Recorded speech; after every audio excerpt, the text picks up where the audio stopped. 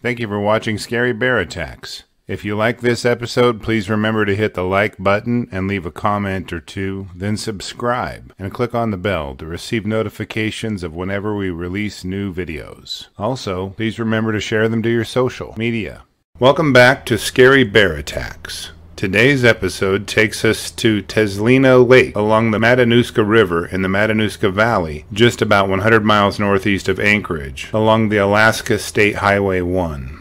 The terrain is breathtakingly beautiful as glaciers grace the valleys of the northern slopes of the Chugach National Forest.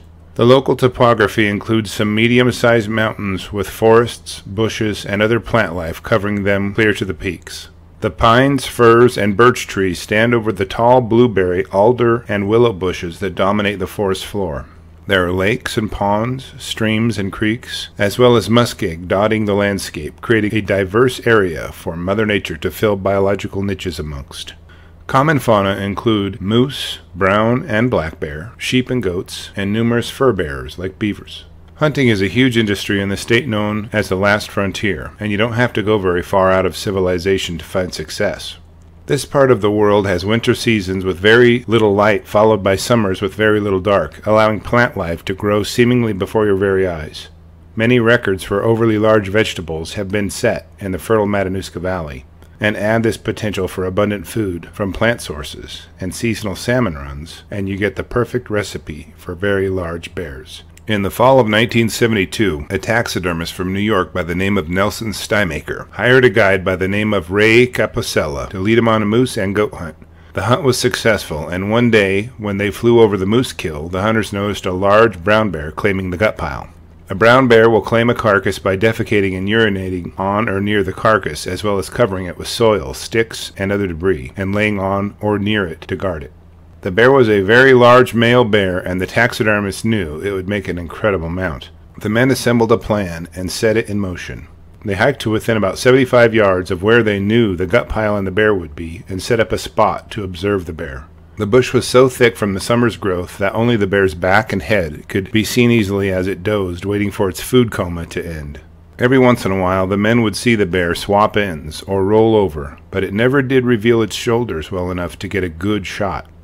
Generally, a shot through the bones of the shoulder on a large brown bear, or probably even a small one, is ideal because it prevents them from getting away and also prevents them from getting you. The men watched for hours, waiting for the bear to stand up or change positions, but it was apparently very sleepy.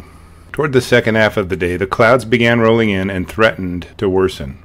The guide decided this was the point where he would try to make something happen. Ray told Nelson that he would go upwind of the bear to try to get the Bruin to smell his scent, and maybe that would draw him to his feet, offering a good shot.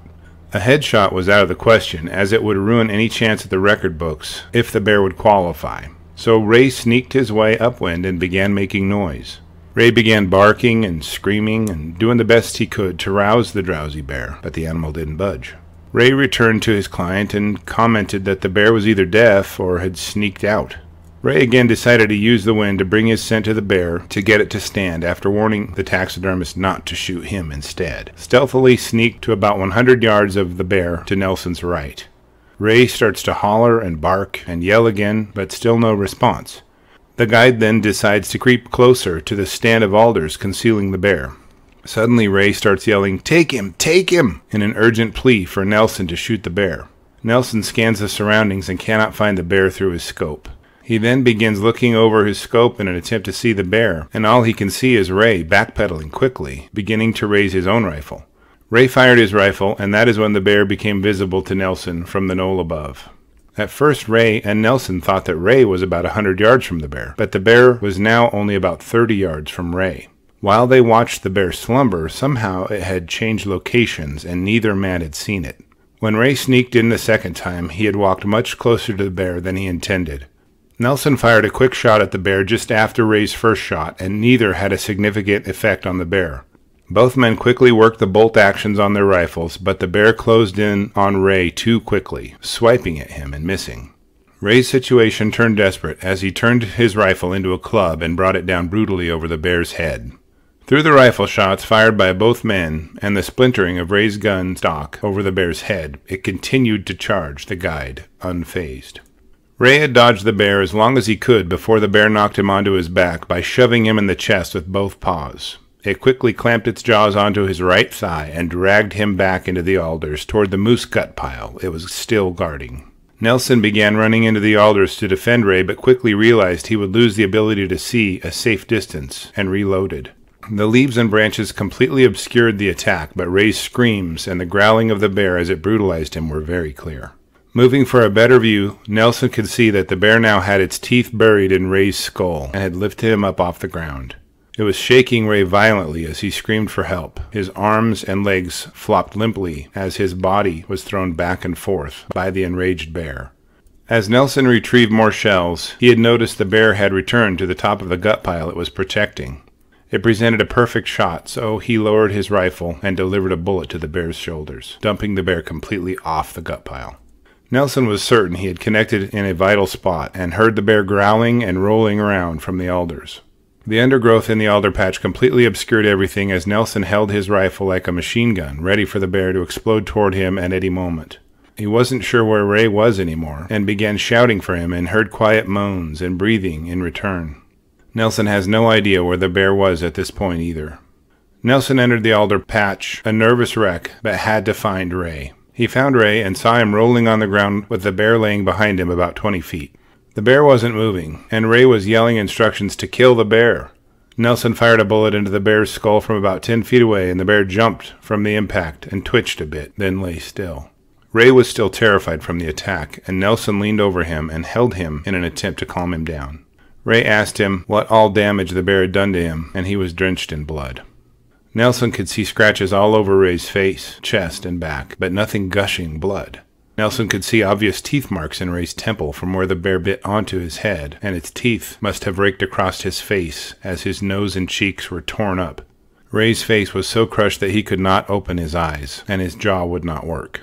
He had to use his tongue to enunciate words. Ray's clothes were completely torn from nearly all of his body, and purple bear claw marks covered his entire chest and back. The bear's claws didn't break the skin, but obviously had damaged his body. It was also clearly bitten on his thigh, where the bear dragged him into the alders initially. The men devised a plan to have Nelson use the radio on the plane to get help, and Nelson nearly sprinted the three miles back to the plane after making sure Ray was warm and comfortable. Nelson frantically explained the details and location of the attack and requested a helicopter. Then he waited at the plane for the helicopter, which arrived with an Alaska State Trooper and a doctor. The group were soon hovering over Ray, and it didn't look good. He wasn't moving or responding to their presence. The rescue party landed, but it was too late, as Ray was turning blue and rigor mortis was setting in. The state trooper took some photos of the scene, and they loaded Ray into the copter. Once back in Glennallen, an autopsy was performed on Ray, and they found that his skull was fractured and several of his ribs were broken. Splinters from his ribs had pierced his heart and lungs. There was a fairly lengthy list of potentially fatal injuries to Ray, but a gunshot was not one of them. His friend did not shoot him. An Alaska state biologist returned to the site and examined the bear.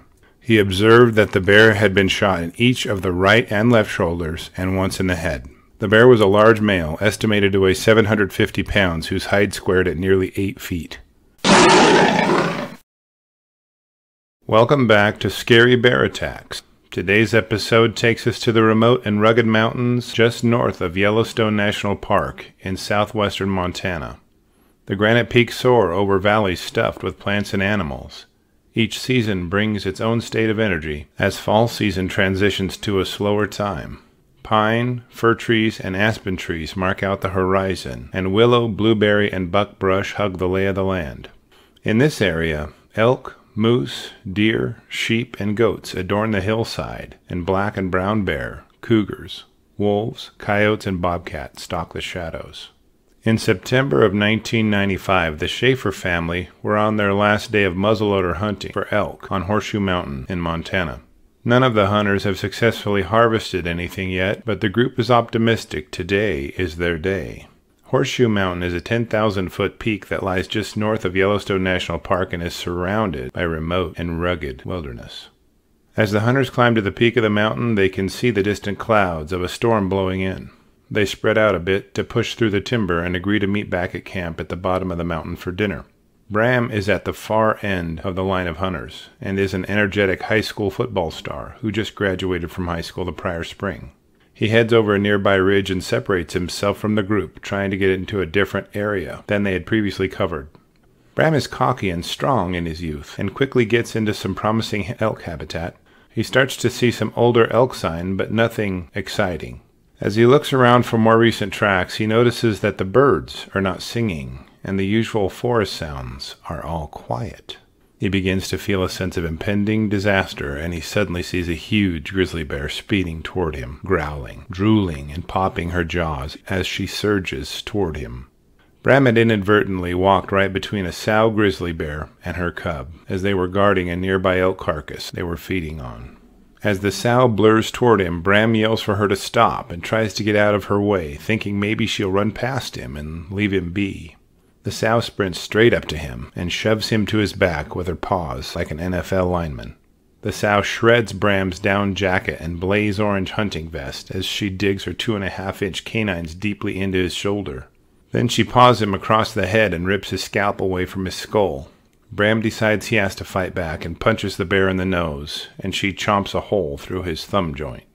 It is a one sided fight at best, but Bram has no choice and fights for his life. Bram searches for his muzzleloader frantically and sees the enraged bear is now sitting on it. She puts her massive head on his lap and huffs her anger at him several times, as if telling him to stay away from her cub.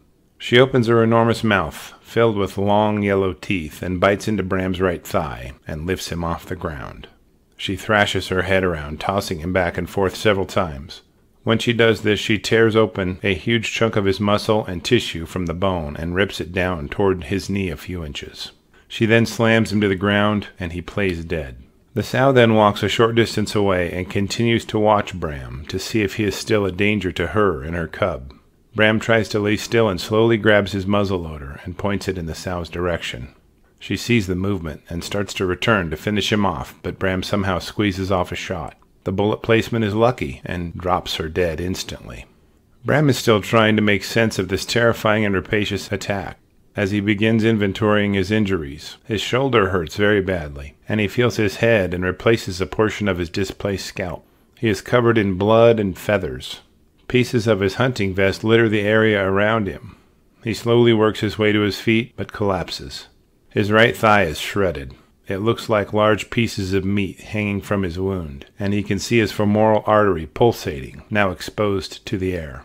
He painstakingly pushes the meat and skin back into place and growls with pain as he tightens a makeshift tourniquet from his hunting vest. He knows he needs help immediately, so he raises his pistol and fires three shots in succession. This is the understood signal between hunters that someone needs help, but Bram hears nothing in return as rain quickly begins to fall. The storm from the horizon is now rolling in in full force. It brings with it 30 mile per hour winds and a constant cascade of chilling rain. Bram knows there is no one near him and that he has to save himself. He slowly wobbles to his feet again and uses his muzzleloader as a crutch.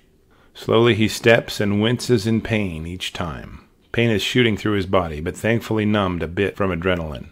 His camp is over the hill on the other side of the mountain, so Bram decides to try to go around the mountain, as he cannot climb it. Bram realizes the desperation of his situation and begins to get angry. The madder he gets, the easier it is for him to move, so he cusses and yells for help, and he slips and limps his way around the mountain in the pouring rain. As the hours pass, the temperature drops to around 10 degrees, and Bram shivers as he struggles for his life. Back at camp, Bram's hunting party slowly filters in from the hunt, and everybody is accounted for except Bram. The group considers perhaps he shot an elk, but nobody heard a shot. They discuss how he's in amazing physical shape and should have beaten everyone back. He doesn't get lost easily, so this is uncharacteristic of him. Dennis, Bram's father, musters the hunters together, and the group head up the mountain together in search of Bram. They yell and fire their pistols, trying to get him to answer back, but the wind and rain kicked up in the storm muffle their attempts. Dennis has some peace of mind knowing he trained his son's survival skills, but is growing more concerned by the minute. The hunting party is concerned that Bram has fallen and injured himself and can't move. As they shiver and holler their way through the rain and thunder and lightning, the futility of their efforts finally set in. The hunters convince Dennis to return to camp and resume the search in the morning light. He initially refuses, but finally relents and emotionally breaks down back at camp in fear of the fate his son is facing. Earlier in the day, and a few hundred yards around the mountain from where Bram was attacked, father and son Bruce and Bryce Pisecki came upon some very recent bear scat and tracks. This immediately unnerves Bruce, as they are only hunting with muzzle loaders, which have a single shot. In order to shoot again, you have to pour in the powder and shove a bullet down and pack the load tight and replace the firing cap. This process can take the best shooters around a minute under the best of circumstances. Surprising a grizzly bear is not the best of circumstances. Bruce and Bryce decide to drop straight down the hill to the Rock Creek trailhead and leave the area in an attempt to avoid the bear. As they're heading down the mountain, the men talk loudly and make as much noise as they can to alert any bears that they may come across. The weather turns bad an hour or so later, and the light of day fades, with the men still searching for the trailhead. As they stumble and slip their way through the stormy darkness, they eventually find the Rock Creek trailhead and sit down to take a break. Bruce voices his concerns that the muzzle loaders they are carrying may not even work in all this rain, so he aims his at a tree and fires it. It worked. The report of the shot is muffled by the wind, but is still loud. Unbeknownst to Bruce, Bram is just a short distance away, shivering and suffering in the rain and dark, as he still works his way around the hill. He's only traveled a few hundred yards, but is now energized with hearing the report of the shot. Bram lifts his pistol and fires an answer to Bruce's shot. Hearing the answering shot, Bruce thinks he's found his friend Dave, a member of their hunting party, and starts to yell at him, inviting him over. Bruce listens for a response, and the wind carries the reply perfectly to him. I've been attacked by a bear, and I need help. The voice he hears is desperate and is clearly not Dave. The Piseckis start to climb toward the voice, cautiously, as they are afraid the bear may be near. Bruce takes out his pistol and flashlight and locates Bram standing in the rain with steam rolling from his body. Bruce is shaken by the terrible sight of Bram. He asks the young man where the bear is, and he replies that he killed it. Bruce reassures Bram that he is going to help him. Bruce is a painter by trade and spends his days climbing and balancing on ladders, so he's in pretty good shape. He stoops over and hefts Bram onto his shoulder and begins walking down the trail back toward the Rock Creek trailhead. Bruce quickly tires and has to set Bram down and catch his breath every few yards or so, but he refuses to quit. As Bruce struggles to pack Bram down the trail, he feels the young man getting worse. Bruce stops and wraps his raincoat around Bram to try to preserve his heat and keep him alive. As the trio proceeds sporadically down the trail, the distance between required rests gets shorter and shorter. Bruce is becoming exhausted. He's now sweating in the cold rain and knows this could lead to him getting hypothermia. Bruce is inspired to call out to God for help and pulls his pistol out and fires off three last rounds into the air out of desperation. Bruce picks Bram up one more time and begins the cycle of walking and resting again. After a short distance, Bruce is exhausted and cries out to God for strength one more time. He bends over and picks Bram up over his shoulder, but this time Bruce feels strong and pain free. He's actually able to carry Bram easier now and thanks God for the blessing. After a short while, Bruce feels Bram's condition worsening again. He sets the young man down on his own feet and wakes him up several times during the hike and watches him fade in and out of coherence. It's then that Bryce yells as he sees approaching flashlights. When Bruce fired the last three shots of his pistol, fellow elk hunter Andy Wolf was relaxing in his tent nearby, waiting out the storm. At first, Andy thinks some fool is shooting at an elk in this weather, but realizes the three shot signal. He quickly assembles a small rescue team and heads out in the direction of the shots. About 45 minutes into their hike, the rescue party runs right into the Piseckis and Bram. Andy Wolf is an avid hunter and outdoorsman, but the most significant aspect about Andy is that he's a medical doctor trained in shock trauma. Dr. Wolf and his party assist in getting Bram back to a tent to receive medical help. As he begins examining Bram, Dr. Wolf looks at the deep bite into his shoulder and then looks over the scalp wound. Nothing too bad there, so he starts looking at Bram's thigh wound and is immediately very concerned. He sees the initial onset of gas gangrene and watches Bram's femoral artery pulse just a few inches away. This is concerning because gas gangrene can grow up to 6 inches per hour, and if it reaches his femoral artery, it may rupture it. Bram could bleed to death in a few seconds if Dr. Wolf could not stop the bleeding. Two members of the hunting party are immediately sent out for help as Bruce and Dr. Wolf tends to Bram's wounds all night long, keeping him awake and out of falling into shock or coma. Dr. Wolf changes dressings on Bram's injuries and admires how tough the young cowboy is. Bruce quietly goes outside and has a short emotional breakdown from the intensity of the recent hours.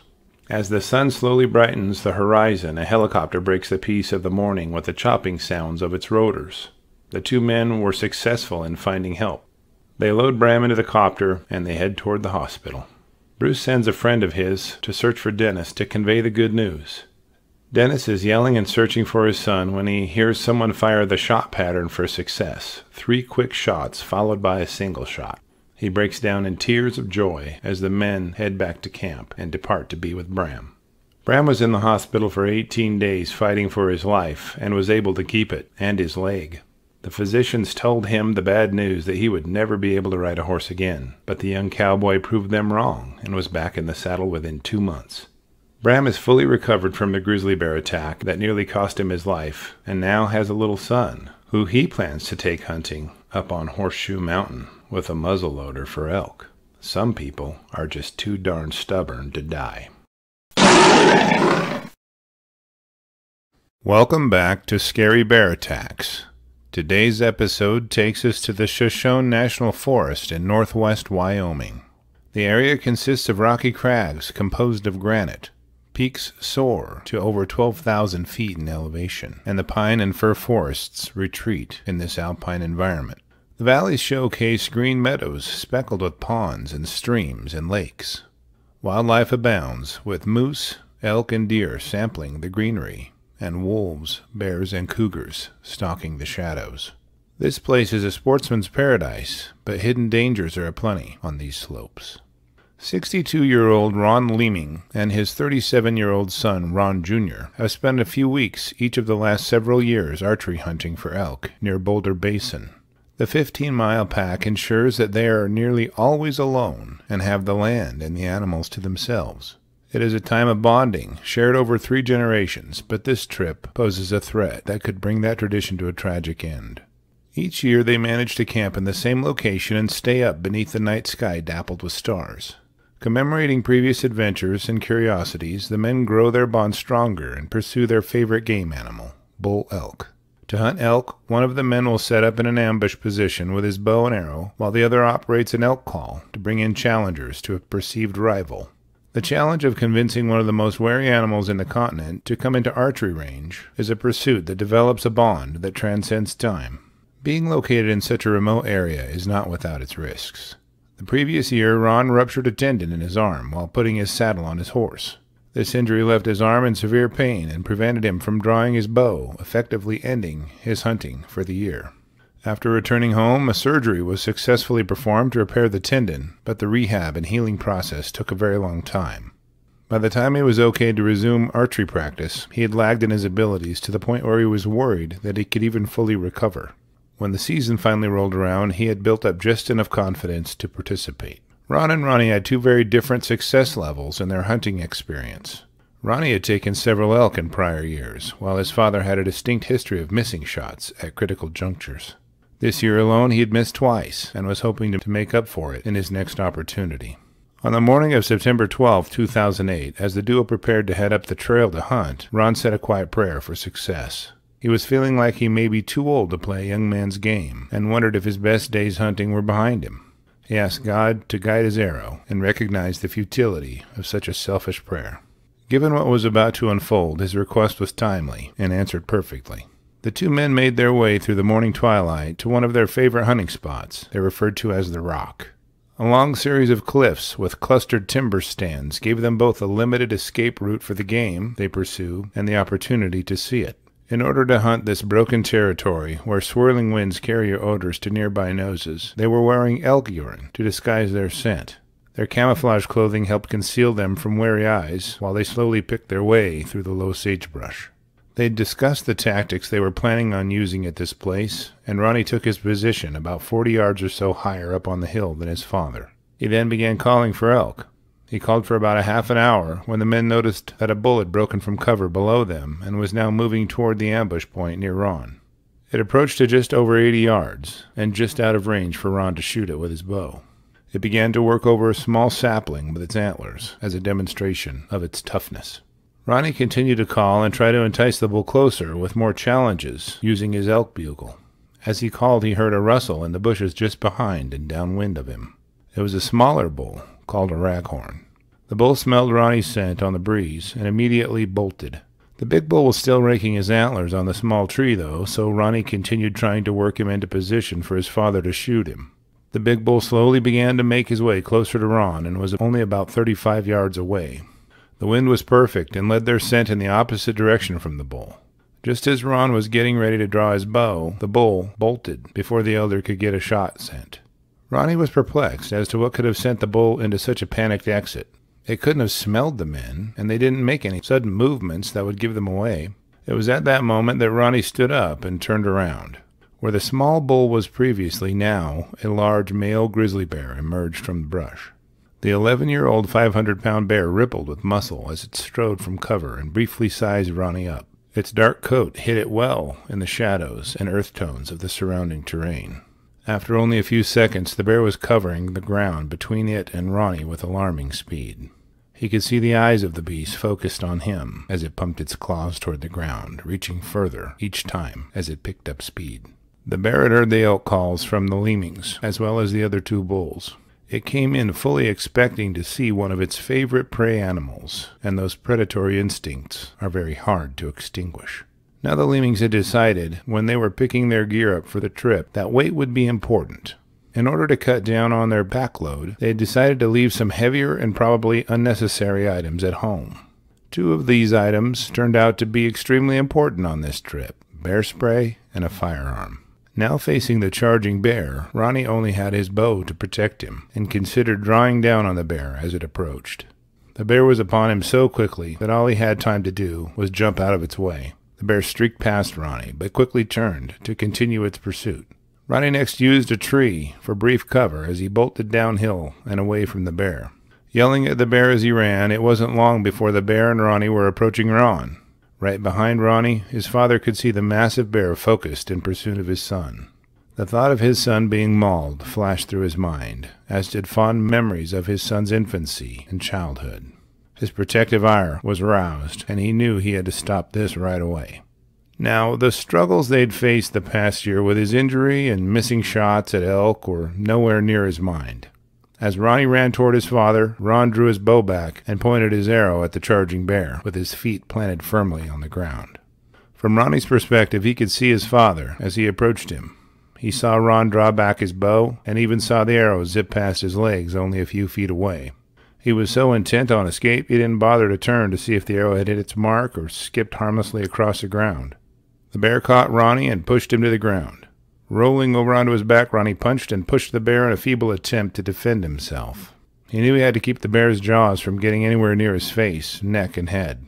The bear clamped its jaws onto his elbow, which was crushed under the force of a single bite. As the bear swatted him back and forth, Ronnie was tossed all over the place in a confusing scene of flashing teeth and slashing claws. Somehow the bear had swatted him in such a way that Ronnie found himself up on his feet. The pain he should have felt was dulled by all the adrenaline his body was dumping into his bloodstream. And as people in dangerous situations tend to do, his mind quickly found a possible solution. He sprinted toward a tree with a fork in its trunk. Hoping he could wedge himself into the crotch of the tree and find protection, Ronnie bolted toward it. He didn't quite make it into the crotch of the tree, but was caught by the bear right at the base of it.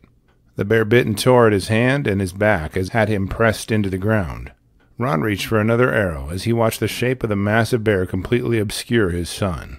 He knew he couldn't shoot at it, as it would be too risky and put Ronnie's life in even more danger. From deep inside him, Ron could feel a primordial anger well up. He ran over to the bear and began to beat on it with his bow. He struck the bear's head and back repeatedly until it turned Ronnie loose. Just then the attack stopped, and the bear turned away a bit. It slowly and clumsily began to stagger down the hill.